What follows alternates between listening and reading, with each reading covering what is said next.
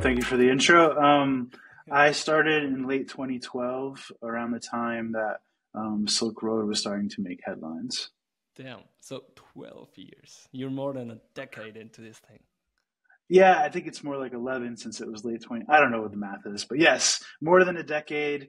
Um, it's uh, been, it's amazing that that much time has actually passed because I, I don't know, I basically turned full time Bitcoin like the week I discovered it.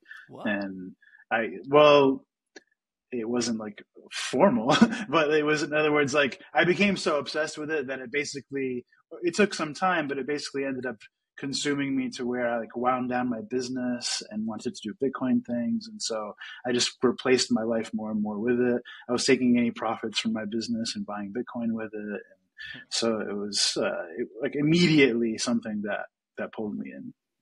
And but but you're a tech guy, right? You're not you're not coming from business necessarily or investment. So did you see did you look at Bitcoin already as an investment back then and like putting a lot of your wealth into it, or were you more like interested in tech and how did that maybe develop over time and change over time over these ten years?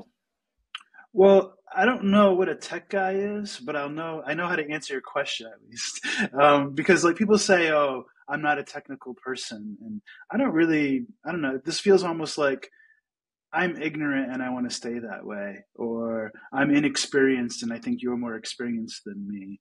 It, it, like the context matters, but um, anyway, the the point being, like back then, what I was was. Uh, uh, an entrepreneur, I guess. I had my own business that we were um, pretty small, but we were doing a lot of business in our local area, doing branding, design, and any supported services for small businesses. So basically, like we could make your whole brand, make your website, handle all of your ad placement, doing, you know, if you wanted to do mailers, and you know, this was uh, some time ago, so marketing was a little bit different. It was changing a lot, but um, making a lot of WordPress sites for people, mm-hmm. making entire like menus and brands for restaurants, things like this. Um, so was I technical? I don't know. I've been using computers all of my life, but I'm not a programmer. Um, I've built my own computers long, you know, early when I was young, and so I, guess that makes me technical. But um, none of that had much to do with why I liked Bitcoin. Um, the reason why I liked Bitcoin and pulled me in was because of the maybe the anti-authority, self-sovereign stuff about it. Um, I literally bought the Bitcoin so I could buy drugs on Silk Road. That's why I bought it.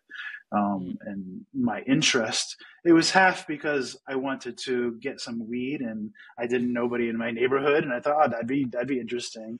But the main half was just, wait, you can do this? You know, like this is possible. And I wanted to understand why. Um, and that's what kept me here. Um, that's what, you know, but that, that pulled me in. It was, it was definitely, I owe it. I owe it to Ross Ulbricht and um, the Silk Road for pulling me in. Um, and yeah, uh, I guess I'm rambling, but uh, it's another reason why I think it'd be really nice to get him out of prison. And doesn't yeah. seem to have any way to do that. But this was a, yeah. this was a huge thing. I I was not into Bitcoin yet, but that but then when you got into Bitcoin and I got into Bitcoin like 2015, this was still a big this was the big story right uh, then. And right afterwards I think 2016 then came Mount Gox. And so then that was the big story. And obviously now FTX is maybe the big story or whatever. But um, yeah back then I mean I, I was also uh, just really hyped about the um, potential of Bitcoin because there is no central authority, because there is no bank that could just, uh, you know, that can uh, freeze it for you or block it for you. That you you need a bank to hold your money.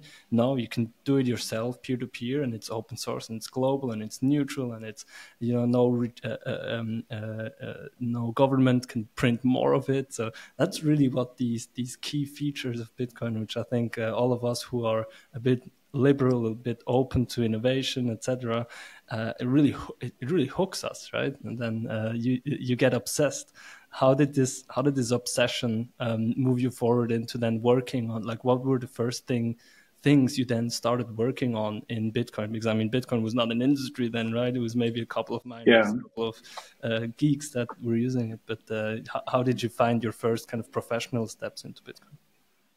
So first, I'll comment on you mentioned the obsessive aspect.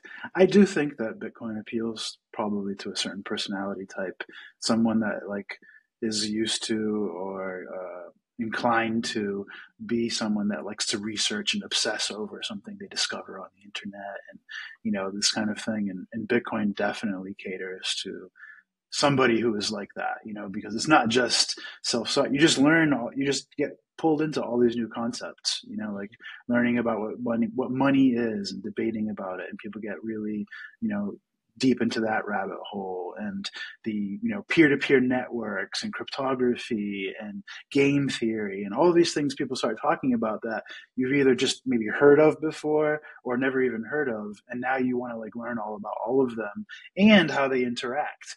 And it's like you're building like this whole entire new area of mental model in your brain and it's it's very stimulating for somebody like me i guess and probably a lot of bitcoiners um, as far as how i got into the professional side of bitcoin um, around 2016 um, there was the whole bitcoin uncensored guys I don't know if you remember that. Um, I, I, dabbled in some other things before that, but you know, this would be the the main time period where there was basically a, like a podcast or live streaming Bitcoin show with these two guys that had a very kind of practical take on Bitcoin. You know, you could call a maximalist, but it was a little bit different. Um, and they were kind of like shock jocks. I don't know if you know what this concept is, but um, or probably a lot of European people might not. And so I'll, I'll define it a little bit. But shock jocks, kind of like Howard Stern and how Howard Stern got famous. We had a lot of this in the U.S. where there were radio hosts. It's not a thing really anymore, but um, when radio was bigger, we had a lot of different radio hosts, and they had to become like personalities, and they had to like get attention. And so a subculture of kind of shock jocks, which meant like the person who hosted the show was trying to like elicit shocking responses by his behavior. And so How- Howard Stern is the most famous example because he got famous by like having like hookers on his show and interviewing them and things like this. Mm-hmm. And Bitcoin Uncensored did the same thing. Like they interviewed people that were using Bitcoin to buy drugs and mm-hmm. and for you know selling sex and and just uh, various weird people for like that had nothing to do with Bitcoin. They would interview scammers in Bitcoin before you know like the whole culture of of being a scam hunter in Bitcoin. They really pushed that forward a lot anyway, that's a lot of detail to say. Around that time, they were, as a joke, were streaming on uh, an adult video cam website, like an adult chat website, and they would stream their show on there. And it was in this website accepted Bitcoin only for tipping and this kind of thing. Mm-hmm. Um, and so I got I got this website got my attention, and so I decided to basically join that team and turn it into like a full product. And so that's how I ended up getting connected to Romania. Is my business partner in that venture was Romanian, and I was going through a divorce at the time, so I decided to travel and visit them. And I just ended up staying in Romania for a few years. So that was kind of the most formal business, you know, uh, getting into the professional side. I did dabble in other things. Like there was a time we tried to do a Bitcoin Core like PR or marketing arm, and that that died very quickly because what you what you learn is there is no narrative that you can get everybody to agree on. Even when you think you're talking to people that agree, once it, when it comes to like portraying a narrative, they don't agree.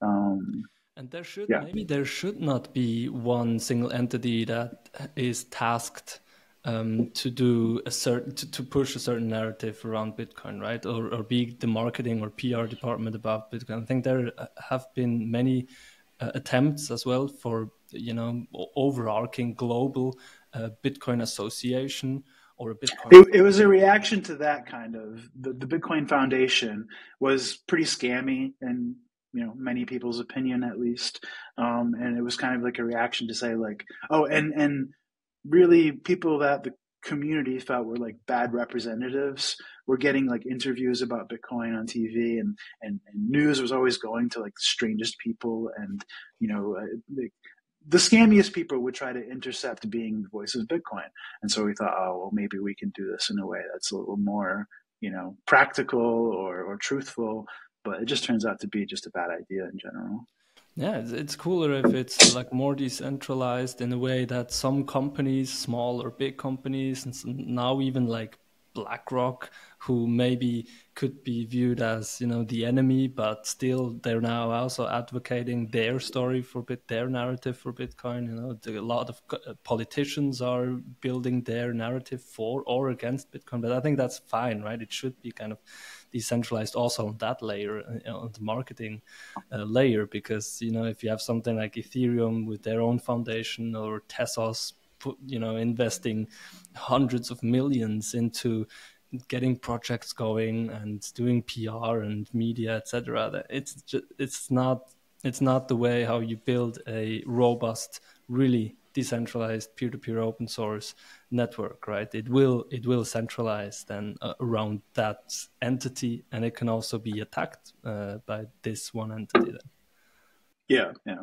Well, I mean, not to get philosophical, but there are a lot of topics of things that centralize in Bitcoin, and ETFs are one of them. So, you know, while while you can claim the ETF as decentralizing in one context, you can also claim it's extremely centralizing in another context. So, nuance is important when discussing decentralization, as well as definition. Like people like to have very creative or convenient definitions of decentralization when they're having conversations sometimes.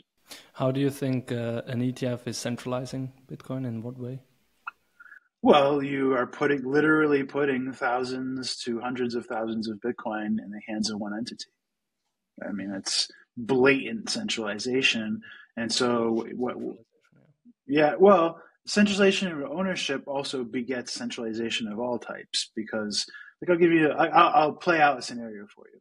Like as an example, um, I forget which one. BitShares, one of the ETFs, committed to giving some percentage of their profits to Bitcoin core development. Yeah, okay, well, so they end up having to choose some way to distribute that money, right? They will either choose themselves and create some kind of standards, or more likely outsource the standards to someone like Brink or something like this. So now you've created a centralized entity holding many, many Bitcoin, creating a revenue flow into core development. Um, and now you eventually have developers dependent on that revenue stream. You have, now you have developers incentivized to continue to get that revenue, revenue stream. Um, and so thus they end up shaping their projects and their applications competitively to try to cater to the people in charge of distributing that revenue. and eventually this hardens over time the bigger it gets. And so you could end up with like say for even now core development isn't isn't that diverse. It's pretty diverse. But now imagine if like 40% of core development is funded by an ETF and then 30% is funded by block. And then, you know what I mean? And it starts looking like okay like and then you have and say all of these are now say the culture develops and now they're all competing to introduce soft forks that benefit their vision for their own ecosystems. Mm-hmm. and so it, it, it, just becomes very hard to navigate because now the, the people with the power and the people that hold the bitcoin and the people that flow the funding all have influence. And this happens in every case, whether it be Coinbase holding many Bitcoin or BitGo holding many Bitcoin. Mhm. These things have centralizing effects. Hi, hier ist Joel von Relay und heute möchte ich dir etwas über Relay Private erzählen. Relay Private ist unser Exclusive Service für Privatleute, Leute mit größerem Budget, Family Offices, klein- und mittelgroßere Unternehmen oder einfach Leute, die in größerem Volumen Bitcoin kaufen wollen. Als Kunde von Relay Private hast du die Möglichkeit und Zugang zu einem exklusiven Team. Wir sind 24-7 für dich da, beantworten all deine Fragen und können dir gegebenenfalls in Notfällen natürlich auch aushelfen. Du bekommst außerdem einen rund um die Uhr Support und hast zusätzlich auch Zugang zu unseren branchenspezifischen Reports und Details, die wir immer an unsere Relay Private Kunden senden. Wenn das für dich interessant ist oder du jemanden kennst, für den das interessant sein könnte, dann sende ihn zu relay.app/private oder klicke. Yeah, and it's just a lot of power, right? If you if you just hold hundreds of thousands of, of Bitcoin in one entity, be it MicroStrategy or be it the US government, which I think holds more than 200,000 confiscated Bitcoin or big miners sometimes holding. I think a bit wasn't Bitmain one of the main funders of core developers still until until a couple of years ago, and so Bitmain didn't always have the best interest, right? They they also they were big blockers, for example. They wanted to also centralize more and more of this. Maybe many miners are into ordinals, so they would you know push this narrative, etc. So yeah, I, I yeah. Or is another good example. Like you have now a, a, conflict in the culture of whether or not ordinals should be you know uh, seen as legitimate, supported, you know, filtered, whatever you want to call it. And so this creates more distraction, more noise. Um, the the utility, what people define as the utility of Bitcoin, becomes more distorted mm-hmm. um, and more questionable. And yeah, so the more complexity, I guess, is another thing that breeds yeah. centralization. Yeah, for sure. It's important to think about these things as well. Um, so when talking about ordinals, and lately we had these huge fee spikes, right? Um, I think it was a new record of uh, almost uh, 700 VSAT, uh, sats per V byte, whereas you know uh, still probably one or two years ago you could still get away with uh, one sat per byte transaction. It, it might might have taken you a couple of days or even a week, but it worked. Now, and, and, the, the average was still below 10 sats per byte. You could send, you know, a, a transaction with even high um, priority, uh, you know, for eight, nine sats per byte. Now we were at almost 700 on average for, for a high priority transaction, which is crazy.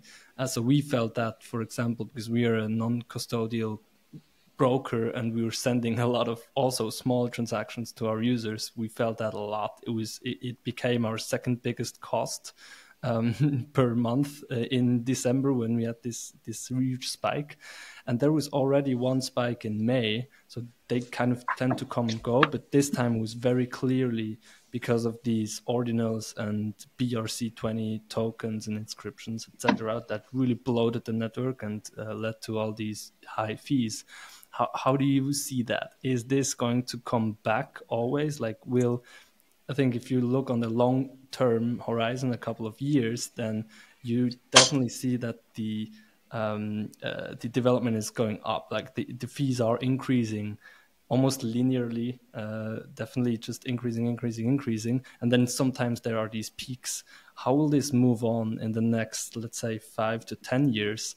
And how, how how do you think we or the, the Bitcoin community ecosystem should tackle that when you know if it goes on like this in a couple of years um, small transactions like 10 20 bucks will not be possible anymore on the main chain at least right yeah it's a nuanced topic so the context is important um, i think that if you're trying to design for how to scale Bitcoin, you know, you there are people that believe in using custodial things or sharing UTXOs or on-chain scaling.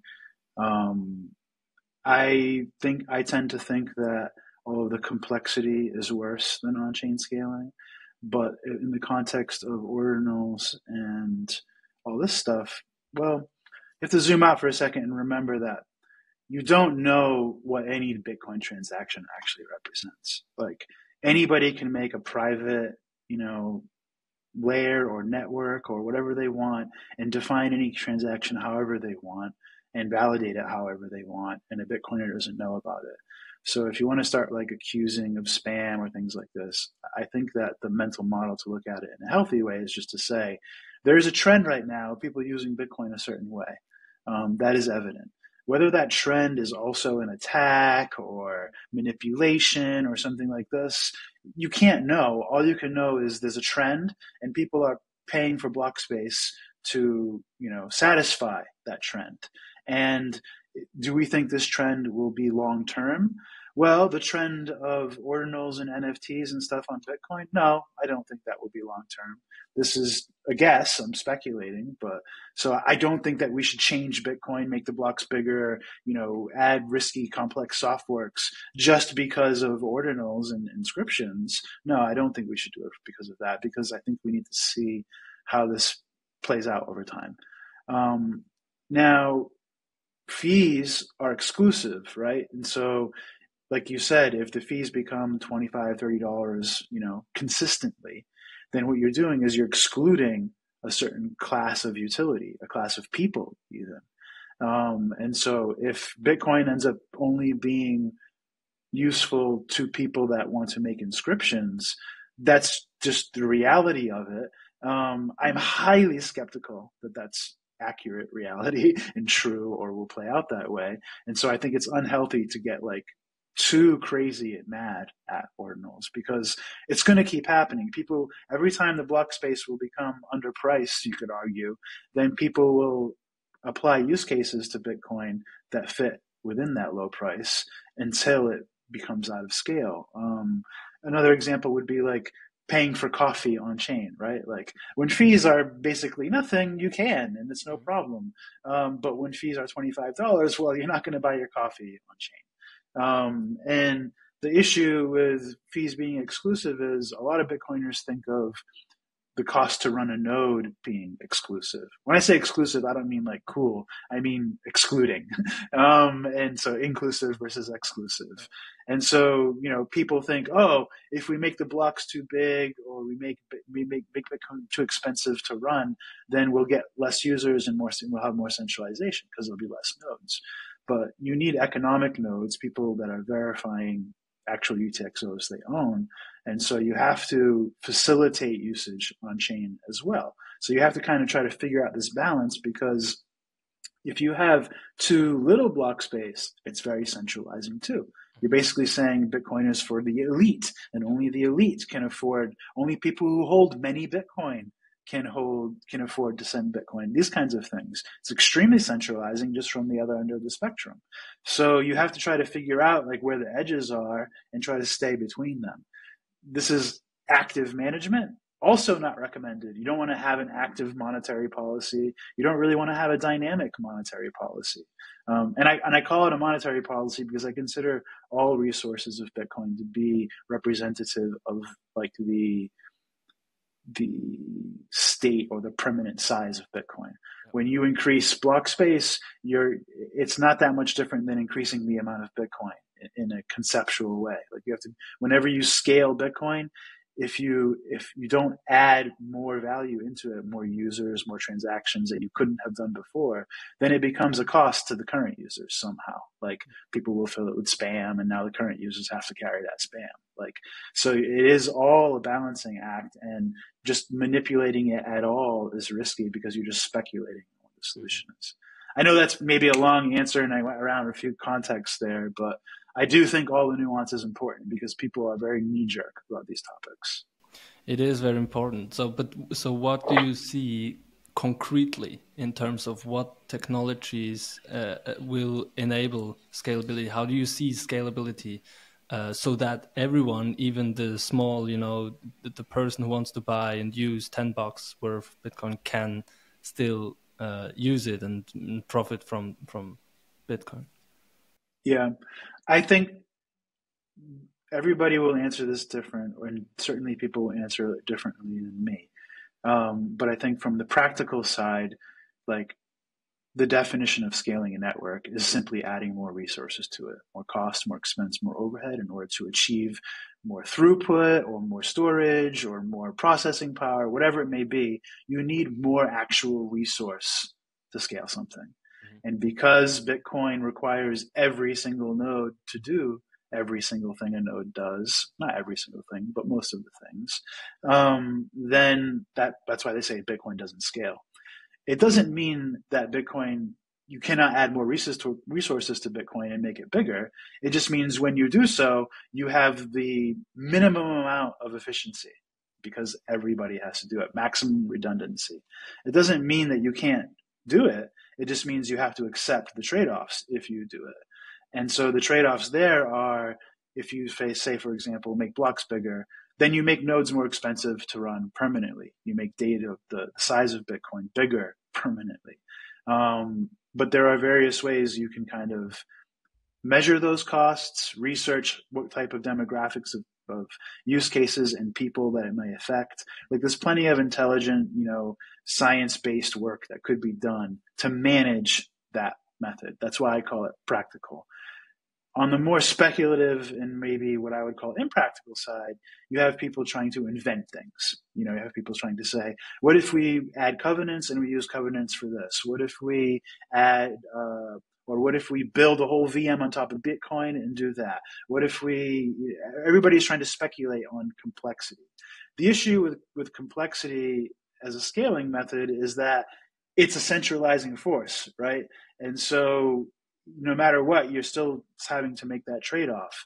And so, what is the, as an example, let's say compare the costs of inventing Lightning, implementing Lightning across all the Lightning industry, getting the Lightning user experience to be good, to the costs of if that of redistributing all that effort to if we had focused more on Bitcoin being easier to send on chain and cheaper to send on chain. Mm-hmm. Now, doing an actual analysis of that and trying to you know guesstimate what the actual differences would be in cost would be very interesting. Mm-hmm. And I don't think that I think Bitcoiners would be surprised or disappointed in the results. I think you would probably find that Lightning was extremely wasteful as far as you know uh, the amount of gains that we get for scaling compared to the costs, and if you compared it to other options.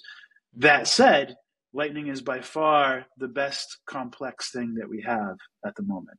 Um, I, I, think that things like sharing UTXOs, you know, co- you know covenant-based solutions, things like this, I'm I'm highly skeptical of those things. Um, I think that they have either the same, worse, or the same or worse trade-offs as Lightning, and Lightning is already extremely complex. I know you guys are implementing, say, uh, I'm just guessing here, but you guys are implementing Greenlight, right? And you're doing this API, which could be argued this is the easiest way to implement Lightning right now, self-custodially. I think that you you would agree, and that's probably a big reason why you chose it, right? But I bet, and I haven't asked anybody, the first one I'm asking here. I bet you still are finding it very complicated and the user experience is very nuanced.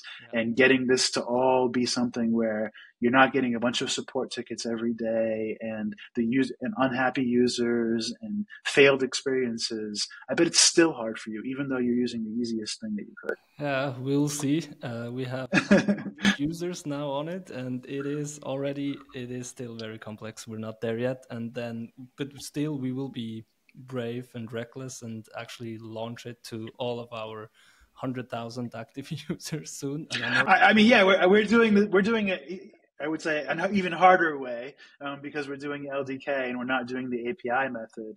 My whole point here is just that there that regular Bitcoiners don't really understand the actual uh, complexity here. They just do not really grasp it. And so when they when I hear Bitcoiners like saying, "Oh, well, what we can do is we can have, you know, a world that is like 200 or 2000 Fedimints and they're all bridging over a lightning network. And I'm just like, like this is not, you're never going to scale this. Like it's, it's not going to happen. Um, trying to convert, you're just going to end up centralizing all this complexity to an exchange. And the exchange is going to be the major point of failure for your whole system. And I could get into what, why that is, but yeah, I'm, ranting enough, probably. okay, yeah. So I mean, you, you, what you're saying is that Lightning is the way to go currently for scale. It's like the best thing we have currently for scaling Bitcoin, but it's not going to be the silver bullet. It's not going to be oh, once Lightning is there, the scaling problem is solved. There will be. I think it's worth trying to make it as close to a silver bullet as possible, but I think it's not in not that likely that it will be a silver bullet. I guess maybe another way to look at it could be that, you know, I mentioned practical methods and impractical message, and I, and I compared on chain to complexity, but it's also that like, um, I lost my train of thought. What was I going to say? Um, the, the complexity, I don't know. I, I, lost my train of thought. Sorry. You can edit that out. no worries. But, but so you, I mean, with Bitkit, you are working on Lightning, right? So you're saying is okay, yeah, Lightning is it might not be the silver bullet. It's the best thing we have now. It's the best thing we have now. You don't see another alternative that would be worth your time and your team's time to spend on kind of scaling Bitcoin. You, you're saying like there should be a lot of people, you know, putting their resources, their time, etc., and a lot of money. And you're you're you're funded as well, like a, a lot of resource into Lightning. That makes sense. Yeah, like I think I think that over time it's possible we can get the user experience to be as reliable as a user would expect. Um, I, I, think we can get pretty close. Do I think you know it's going to be like we get between 80 and 95 percent there? And is that five to 20 percent going to be acceptable to the user? I'm not sure. That I, I can't I can't predict that.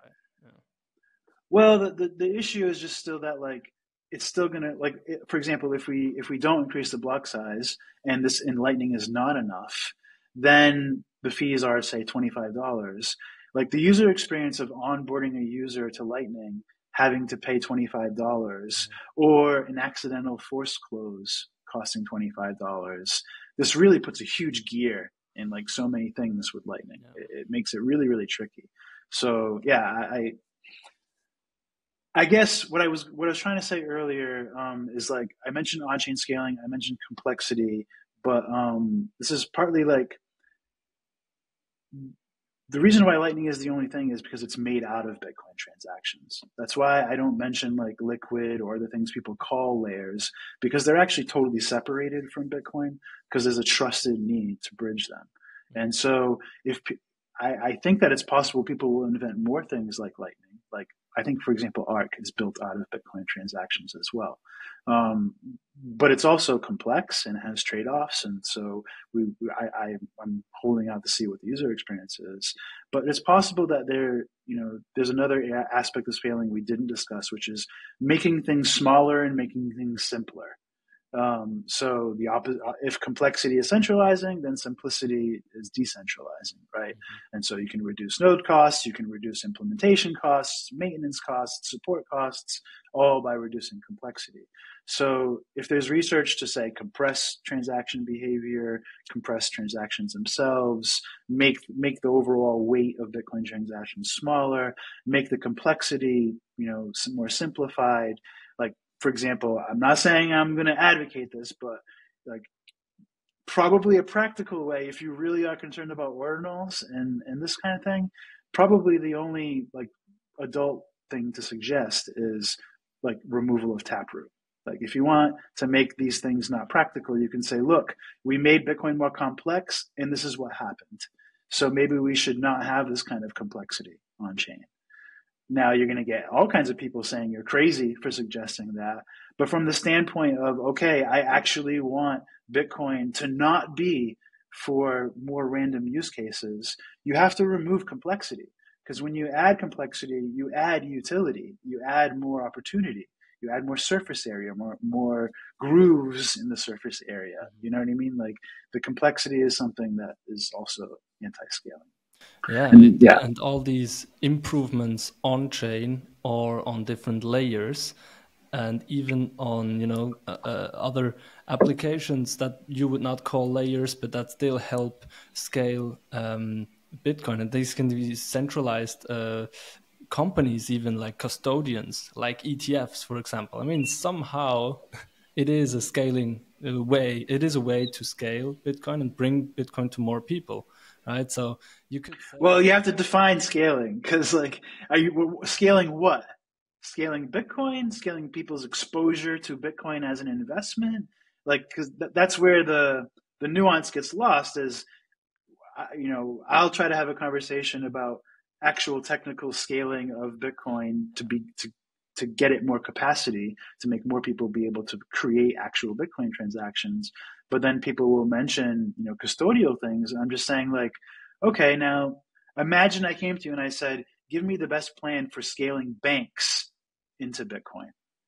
You would describe the same behavior. You would say oh let's get an etf out there. Let's you know get get great custodial wallets out there to compete with the bad user experience of self custodial wallets. Let's get everything as centralized as possible so it's as cheap as possible. You know like that's how you would scale mm-hmm. custody, right? And then at that point, the only thing that really matters is who you trust, who, you know, who who you will, will have your custody, whether they're using a federation or confidential transactions, or you know, they can you know give you audits. All these things are just not that important because in the end, you have to trust the person holding the money. Yeah, if you want that, and some some might want that. Some want to trust um, BlackRock and Coinbase, and therefore they think for themselves it's the most convenient and the best option to just hold Bitcoin. That way, some just want to trust Binance for whatever reason um, to hold their Bitcoin, and some want to go the, a bit more um, you know, the bit harder way with a bit more effort and and try to do it themselves. And then they run into other problems because they have a non-custodial wallet now and everything, and it works until it doesn't because the fees are so high, and then they will need to go into Lightning. Then the question is, Lightning or non-custodial Lightning? I mean, custodial or non-custodial Lightning because you can use Bitcoin and Lightning through something like Strike but it's definitely it's it's highly custodial. Again you're trusting a lot of different intermediaries and parties again. So then if you really want to go the pure way of uh, as low as like no custody no kyc etc then i think that's always going to be harder. Uh, so always going to be for for uh, for less people. And we both of our startups are uh, you know working very hard on making that uh, because that's pure that's what we want that's like the idealistic um, uh, thing.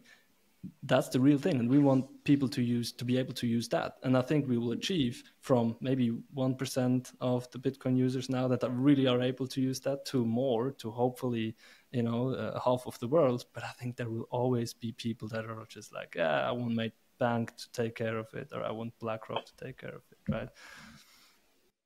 Yeah i, I don't I'm not trying to say that we should disallow people from doing anything or using, you know, uh, banks or trusting people. I think that if the context is what is the best way to solve my problem, and if a bank is the best way to solve my problem, so be it. Um, I just think when the context is growing Bitcoin, Bitcoin adoption, scaling Bitcoin, that it's better to organize the conversation to separate that and say, okay, yeah. well, for for the aspirations we have for Bitcoin and growing it, we here are our options. And I just don't think that the an ETF or people holding their Bitcoin in an ETF is an example of relief on our responsibility to create those options. It, it doesn't it doesn't help us at all. Um, I want to mention another thing too because you mentioned that it's easier. Um, there is a, a benefit trade off for us as well in that yes, it's much harder to work on self custodial apps um, and deliver good user experiences for self custodial situations. But it also means that we don't have to do uh, compliance or as much compliance. We don't have to have uh, as much of our work be about lawyers and yep. dealing with state organizations and things like this. So that, that's really what the game is. It's like seeing how much can we keep our companies away from becoming, you know, an arm of the government and just having a bunch of lawyers and bankers working for us. You know? That's a very good good point you're making, and uh, I think it can be. Hopefully, it can go that far that um, have, using and holding and transaction with Bitcoin in, an, in a self custodial way will be even easier than doing it in a high KYC, high regulated custodial way because if you're looking looking at especially here in Europe now the whole MiCA licensing that will uh, MiCA framework that will come from 2025 onwards boy this is make this to make it super hard and super inefficient super costly uh, for these big custodial shitcoin exchanges especially if you also have other cryptos than bitcoin. So if you're not if you, if if you're not um, bitcoin only and if you're not non-custodial it will be super hard, super inefficient, super uh, costly uh, for you to run the business. And it's going to be impossible for small businesses. And it's going to be hard to deliver a great, uh, fast, slick user experience because it's exactly what you said, because it's mainly like you're, you're over regulated. Uh, and if you're Bitcoin only and non custodial, you can be a small company, you can be nimble, you can um, be also cheap. Um, you, we will probably be able to uh, provide a better user experience, uh, be faster also in developing because we're a small and lean company and we can be even cheaper. Know, uh, that, that's, that's yeah, you might have a point. Um, I don't know if it will all be like that, but there is a chance. There's, there's actually a reasonable chance that the Bitcoin or maybe even the Lightning user experience could end up being less of a headache than the fiat experience post Bitcoin. In other words, now that everybody's trying to like regulate the hell out of everything and make CBDCs and all this stuff, you know, if we take a, if we zoom out and like look at things five, ten years from now, it might be that, well, all that stuff is much more of a pain in the ass than Bitcoin. A practical example right now is how Bitcoin is 24 hours a day and nobody can tell you when you can or can't move it. Um, that's not going to be true for ETF holders. They're not going to be have full freedom to be liquid, full freedom to transfer, etc. Yeah, exactly. Or limits, uh, you know, credit card limits of one or two k a day. There's, there's, nothing like that on on Bitcoin. Yeah, there's yeah, a yeah. lot of limitations, and they. Would... Uh, it's getting really annoying, man. Like my card gets like shut down anytime I spend more than a thousand. It's like they like have I get a fraud alert or something like that. It's like you the amount is just getting lower and lower. It's like it feels like the only purpose of my bank now is like to give me fraud alerts that are wrong. Like they're just control trying to control you more and more and they but they're not capable of it. Yeah. Yeah, definitely, man. I think that's the future we want to work on, right? That's that's what we want. That using money and transaction value becomes free you know uh, i mean becomes you know independent again and becomes fun again. We, i think we can make it more user friendly and that's what we're working on you with bitkit uh, my, myself and my team with relai and a lot of other great like blockstream and breeze with lightning etc i think so i have a question. When internally when relai talks about you know product features and, and the climate of things like kind of like we're talking about now um, where do you place stable coins and you know uh, you know trusted trusted monies into your conversations like we talked about like etfs and banks and like total custodial but we have also this kind of pseudo pseudo custodial situation with things like tether and tether tokens mm-hmm. the the one of the issues being that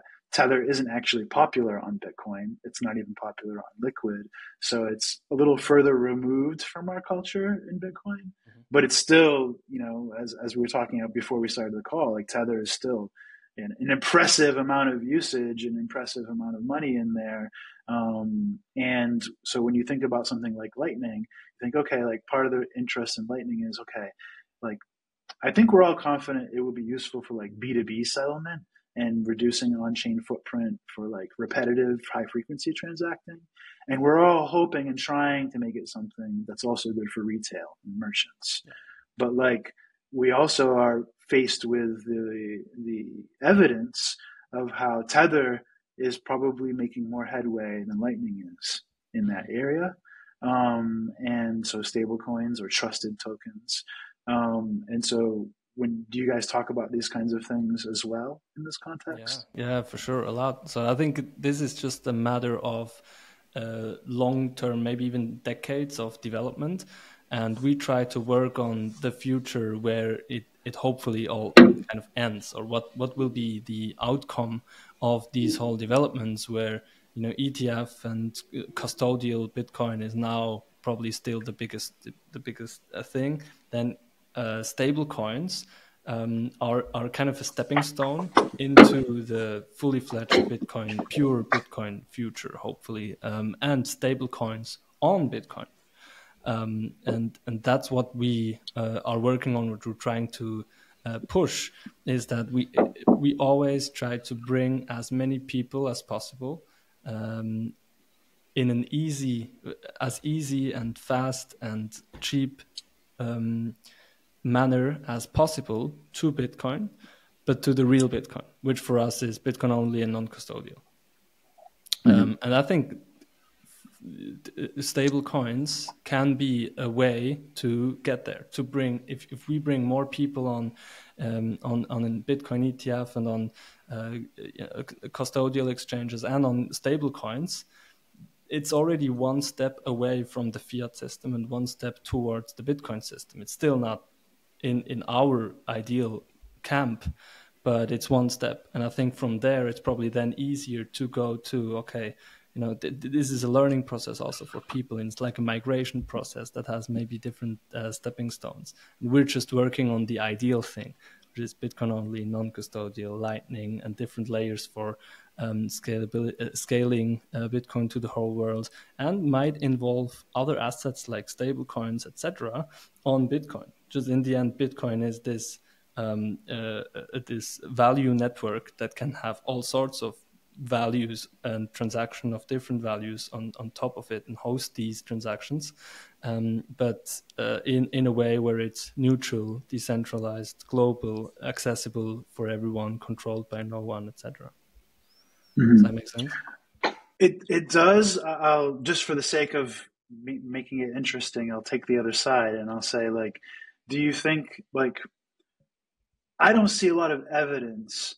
Like I, have heard this from people that promote custodial solutions or pseudo custodial solutions that you can this is a great opportunity to take people that are no coiners turn them into bitcoin investors and then put them on the path of self custody mm-hmm. but i don't see a lot of good examples of success of that path right? Like it, it, i'm sure it happens but it doesn't seem like this is a very actually that common of a thing for people to go from keeping all their Bitcoin on an exchange to holding it themselves. That's that's a very good. I, I don't know like the data. I see different data, and I think it's not clear. I, I, I see statistics of like oh in the last ten year or like last five years, um, less and less Bitcoin are on exchanges, more and more Bitcoin are in self custody, etc. But then I also see the other exactly the other story that you described now. What what I can see or what I what I see. We don't see a lot more nodes being run. That's, that's one area of evidence.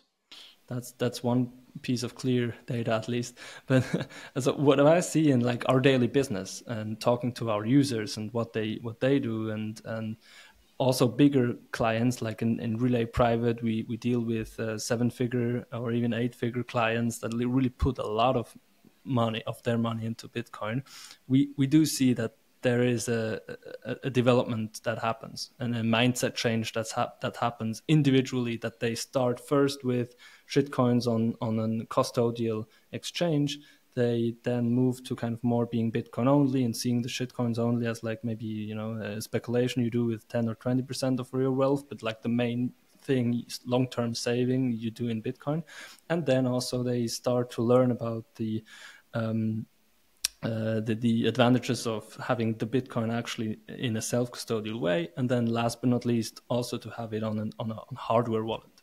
Uh, so mm-hmm. and yeah, I guess when you have a lot of money, you have a lot more fear of losing it, and you there are people that will transfer that and say, well, it's safer in my hands.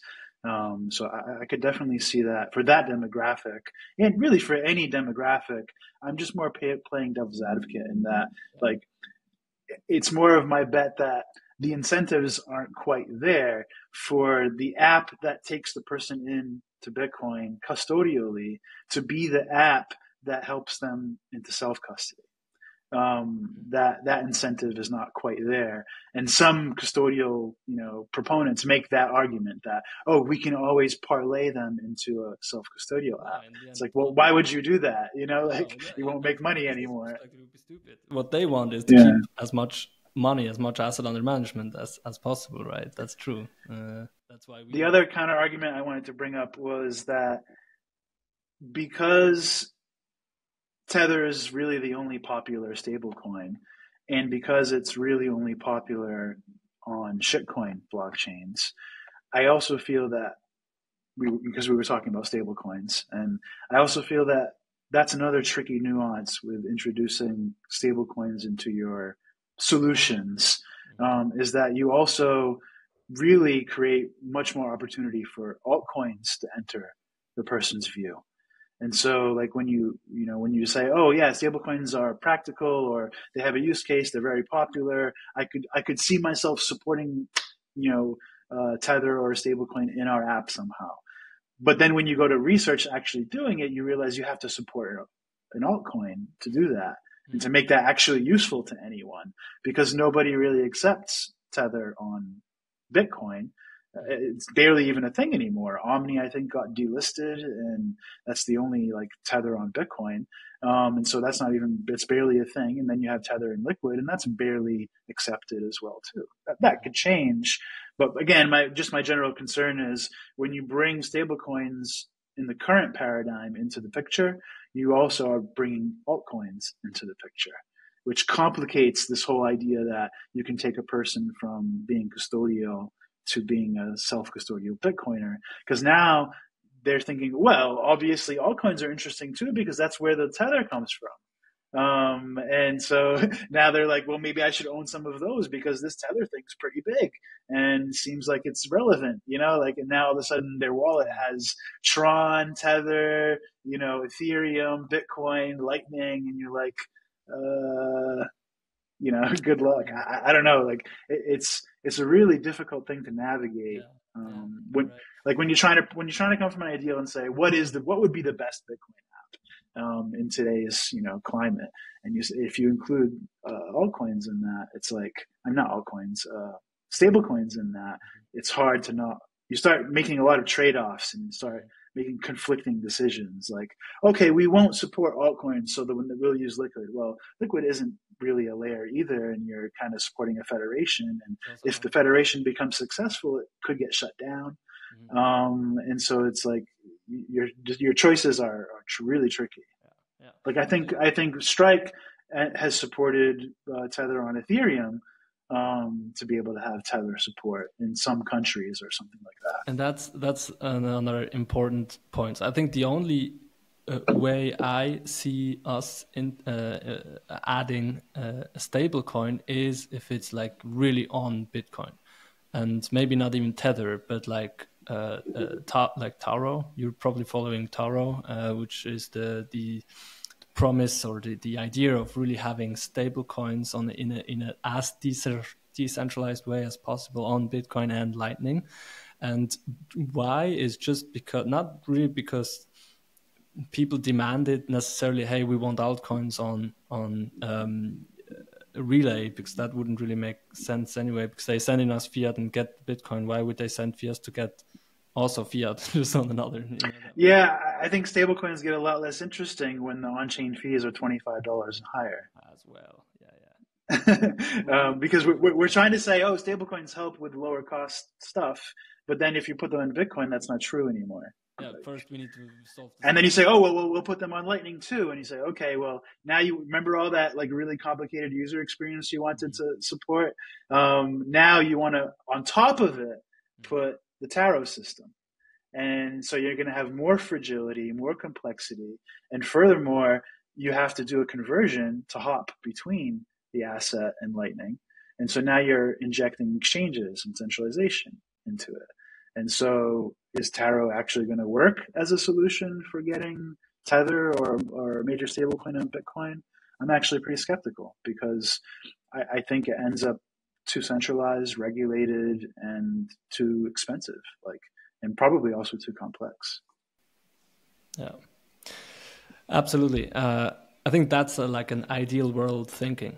Ideally, in five years or ten years, Bitcoin will be with different layers really scalable and you will have almost instant, almost for free, kind of the lightning promise transaction, right? And if we achieve that, and once we achieve that, then I think there could also be a nice value add in having stable coins on Bitcoin, etc., on all these uh, stacks, because then what you could have is on Relai, basically, you could have um, a, a stable coin, whatever your fiat currency is where you live, and you can deposit this but it's already it's it's already non-custodial which is great and then instantly within seconds you can swap it to bitcoin that's that's something that a lot of our users demand but we don't serve yeah. currently because we don't want to hold the fiat currency on behalf of our bitcoin but this, if there was a way for people to kind of deposit fiat um, but hold it themselves and then switch it whenever they uh, want to bitcoin then that would be something that i think our user base would like but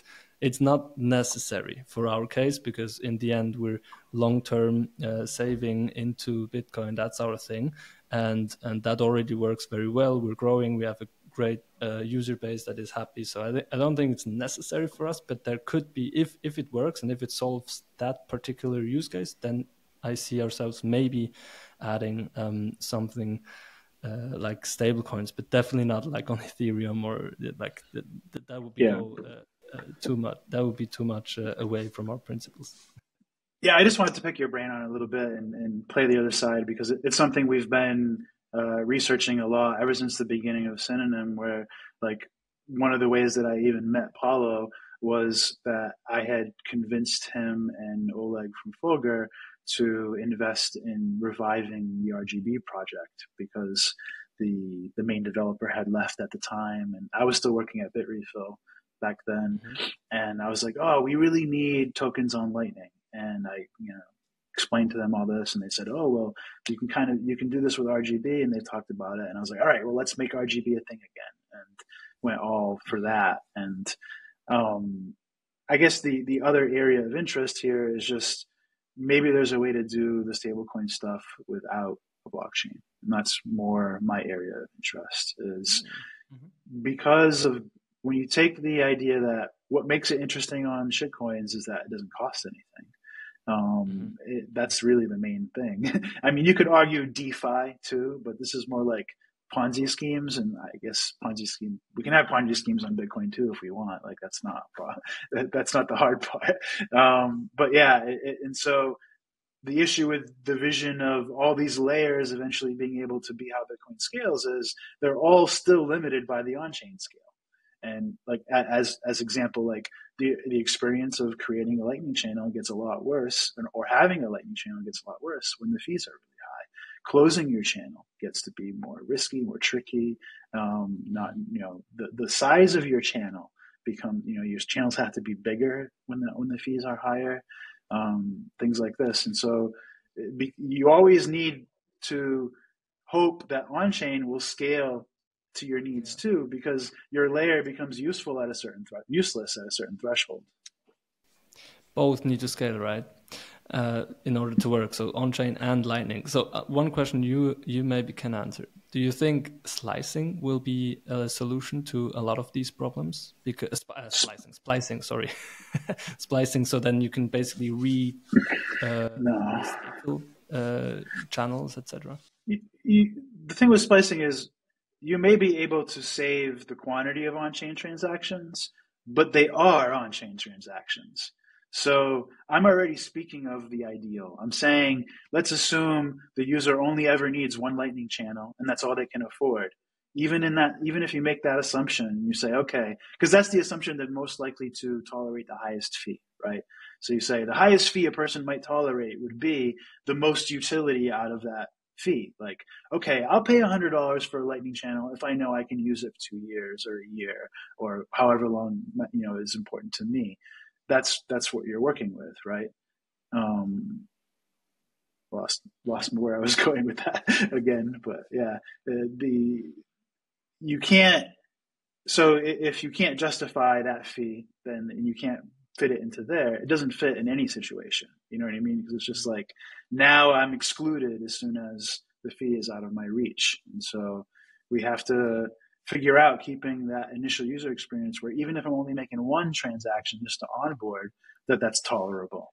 Never mind splicing where, because splicing is just saying instead of closing my channel and opening a new one or having two, which might involve you know one or two transactions or more even let's just do a splice so it's, just one transaction but splices are on-chain transactions so you still have to pay that on-chain fee to splice so it doesn't provide you any special scale so much as if you're doing multiple on-chain operations you may be able to do less if you're careful yeah, yeah, got it. Oh my god, it's so complicated still. Why are you still working on this? It's so why, why don't you work on something I, I, think people would be depressed to know how often we ask ourselves that. Um, but no, we are so well. The answer is simple. It's still the best thing that we have. Like it's still the only Bitcoin scaling layer that exists, no matter how complex it is. It's it's the only thing worth working on. Other than like, I don't want to have a company that works on on-chain scaling proposals. I, I just don't want to be the guy, be that guy making proposals for on-chain. It's it's very uh, disappointing when you don't get your way, and it's very dangerous when you do. So it's not really my area I want to be involved in. Well said. Well said. Well, thank you, John, for for your time. It's really this was really like we can go on for ages, and it's a it's a super complex topic, but I think it's it's the thing that you know creates the the financial system that we want for the future. And obviously, it's hard. It's obviously it's not going to be easy, right? But it's it's definitely worth it.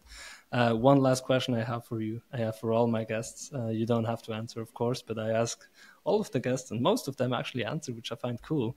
So you're you're into Bitcoin. Uh, what percentage of your wealth do you store in Bitcoin? I, have said this before, so I don't mind sharing, but I keep one month of fiat. That's all I keep, and everything else is in Bitcoin. So every month I, I sell enough Bitcoin to pay my bills, and that's it. Uh-huh.